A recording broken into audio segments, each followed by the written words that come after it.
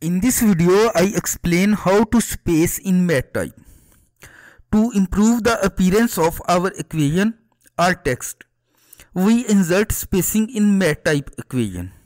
So there are two methods to insert space. So we learn first method. Go to symbol symbol palette. This is symbol palette. Here is the spacing icon AB here is space spacing icon click this this is zero space for zero space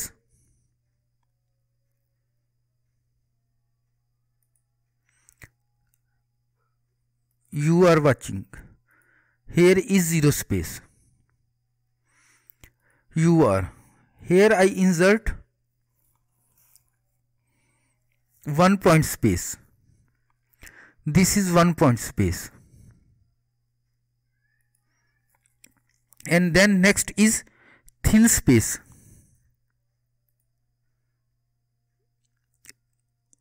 This is thin space. Thin space is equal to sixth of an em em is a space which is less than capital n and you can see my video on em in next in in the in next video after this. Youtube. Here i add this is thick space. Thick space. And this space is equal to third of an em and finally space is equal to em and this is the sign. So these are five spaces you can add according to your choice. First go on symbol palette click here. This icon is for zero space this is for one space thin space thick space and em space.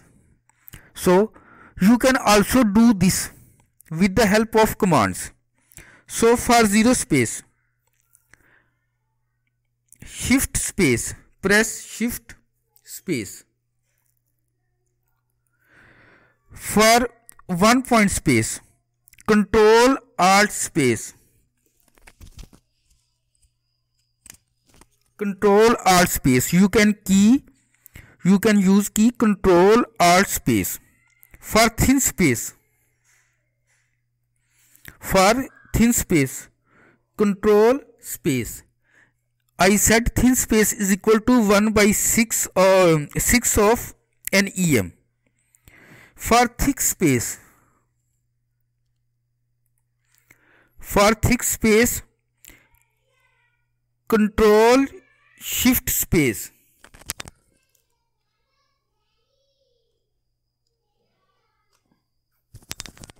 Control shift space for thick space. And finally you can use this by none if you, the button of none available on your keyboard and em space. If you want to see videos on how to change color in MathType how to change font size in MathType difference between inline equation then click the link in front of your screen. Thanks for watching